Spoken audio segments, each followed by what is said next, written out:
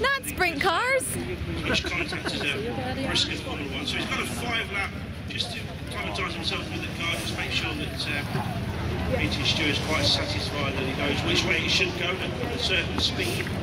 So um, Eric Pollard from the USA.